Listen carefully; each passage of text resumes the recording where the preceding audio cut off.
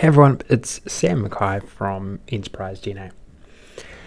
Now, I've been asked for a little bit more variety around some of the showcases that I put on uh, put onto the channel. So I've decided to just show you how you can use, utilize Power BI in many different ways and talk about talk through different scenarios and how to run calculations in different scenarios.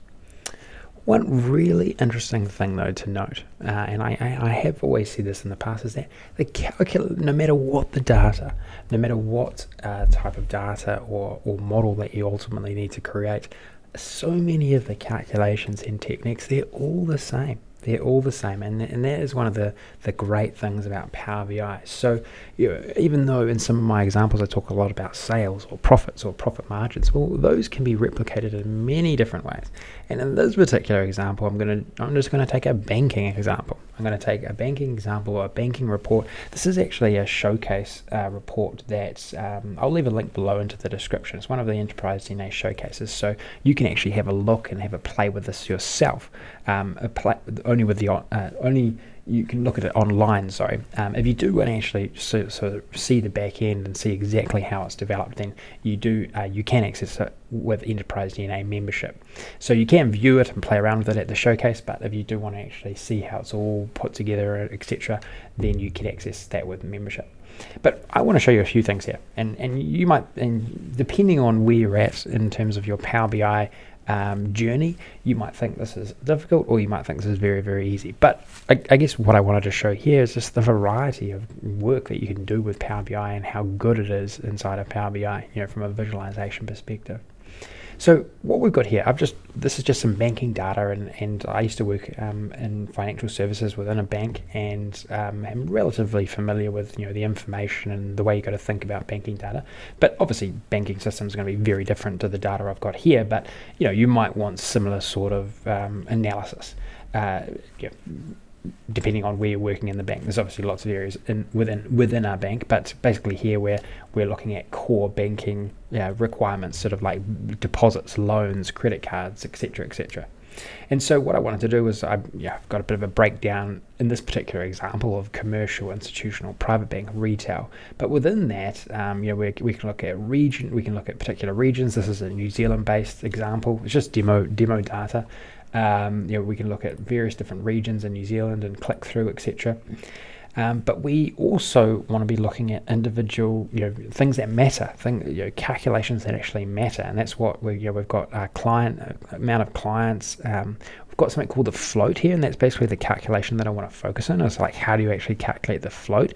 Now, the what what the float is and this can be termed a few things, but um, how I'm describing it here is just deposits minus your loans, because um, sometimes the float can be positive, sometimes it can be negative. Most, a lot of the time, it's actually negative because you go and um, you go and borrow offshore to make up the difference between how much you've loaned out and how much you've got on deposit. Um, you know, but that again totally depends what type of bank you are. Um, but in this case, I want to show you well, how do you actually calculate this result, and you'll see, okay, well, how, how does it all come together? How can you, you know, create measures inside of Power BI, branch them out to then ultimately get this calculation? Okay, so let's quickly review the data. It's a pretty detailed um, you know, data set that I have um, for this particular bank, right? And so we have, let's just, you got to think, okay, well, a bank's got customers, right? How do they make money? They have customers who give them deposits and they lend out money as loans, right? And so uh, it's, yeah, this is relative, this is simplified because loans can be to totally different people than, you know, say just general retail customers, but uh, in this particular case, it's, it's just you know to simplify things, it's all in one table. So we've got the customer name, a bit of detail about the customer, etc., etc., etc.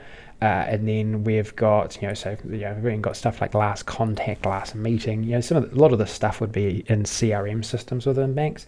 Um, whether it would be all in the same table is, is debatable, especially with some of the legacy banking uh, technology out there. But um, for every single customer, right, you might have um, information about the customer. You might have their income. You might have how much superannuation they have, how many credit cards they have. But then also you might have things like, well, what sort of bank loans do they have? Uh, bank deposits, checking accounts, savings accounts, foreign currency accounts, business lending so on and so forth. In this particular example, all of these things are in particular column, like one individual column, right? And I'm sure when you if you downloaded data um, you know, banking data in your own system, data would be set up in some sort of way like this. And that's that's what it comes when it comes back to for me is that so much of the techniques I'm going to utilize, I'm going to show you in a second. I mean, they, they can be so easily replicated within any environment, especially you know, in this particular case, financials or, or in banking, right? And so what I've got here, we've got we've obviously got all the information that we need to go and run these calculations. And so we could create analysis like how how many um, loans, uh, you know, how many uh, customers do we have who have a you know, particular set of loans greater than X amount? How many um, bank deposits are, um, yeah, are with males, or what are our deposits for people aged over a certain age? You know, so there's lots of different ways we can slice and dice it. What I've got here also though is I've got say location data so we can you see here we've got a unique identifier which which links back to that table and we've also got customer data so this is how we can uh, see what location they're in um, and know a bit more information about the client and that's what this model this how that's how this model has been has been um, created back here Okay, so let's run through the uh, just quickly run through some of the measures because I think you're going to find these are pretty pretty darn simple. So because our information is in uh, columns, right? All we have to do, we don't need to do anything difficult. All we need to do is create some simple aggregation formulas and go sum. Uh, if we wanted to go and have a look at what our loan was, we just go sum. If we just wanted to look at biz lending, then we just need to go sum. So I mean, most of you are going to think, well, this is this is ridiculously easy. Well, it is, and and, and you know, when and that's what I always say when people ask me for lots of different examples. It's like, okay, I can I can very easily show you them, but what you'll find is that they're all very similar techniques that I show all the time, um, because they're um, you know, the techniques and tips and stuff. They're very replicable across many different environments, many different scenarios, which is which is what I um, which is what um, you know I love about Power BI. Now, total float. How do we go back to total float? So we've done all these intermediary calculations, right? I like to call them core calculations. Well, this is where we can use measure branching, the measure branching technique, where we can utilize measures within measures, right? Because all we know all of the deposits that we might have at the bank, but we also will know all of the loans because the data is in is in our table. And so for us to calculate the total float, all we need to do is go total deposits, take uh, minus total loans and so if I just dive into these particular formulas here, so let's have a look at total total deposits. So all I've done is I've taken all of these core calculations, which are deemed deposits, and I, I love to put them in like a very intuitive format where I start really simple, right? I start with this simple core measure, then now I'm branching out into total deposits. And then ultimately, if I wanted to go to total float, then I can just branch out again and go total deposits minus total loans. And this is a the, the by far the most superior way to actually create this sort of analysis in a, in a sequential way. Start simple and build up. And then because we've done that, we can then start filtering and, and, and looking at our information in a variety of different ways. And so what I've got here is within that table, and this is a really interesting one, you might have a risk weighting. You might have a risk weighting for a particular client. Um, and so what, what we can do here is we can say, okay, well, um, CR5s, these are our highest risk clients, right? And so um, we're able to click on that and see spatially, okay, well, here are our very high risk clients. Um, and then um, you see all the information that is going into that particular um, that particular client in that particular location, etc. So it's, it's it's it's great stuff, right? Really great analysis, just just showing in a slightly different way.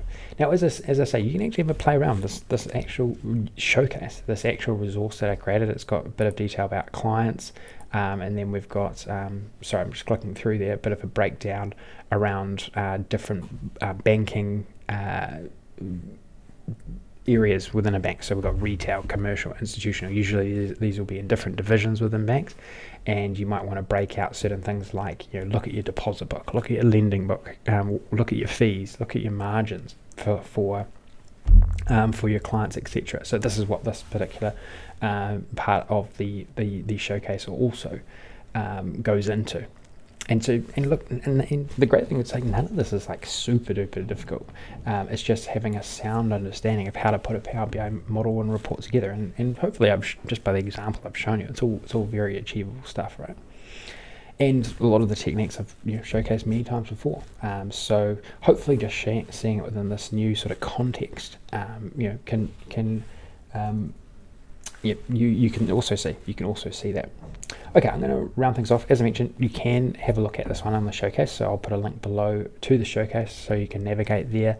Um, and if you do want to actually, you know, actually want to download the resource, um, you can via, you know, with, with Enterprise DNA membership, you can download any of those showcase resources and, and have a play around and see how they're done and replicate them and copy them, etc. So that's what that's what um, that's what members are, are able to access right now. Okay, all the best. Uh, hopefully you like this one. Hopefully you like you know different application of Power BI. Love you know banking is my personal background, um, and where I sort of learned a lot about sort of financial side of things. So really enjoy you know showcasing what Power BI can do in that environment as well. Okay, don't forget to subscribe to Enterprise DNA TV. Looking forward to putting out a you know, whole variety of this sort of content in the future. So I uh, look forward to getting it to you. Okay, all the best. Talk to you soon.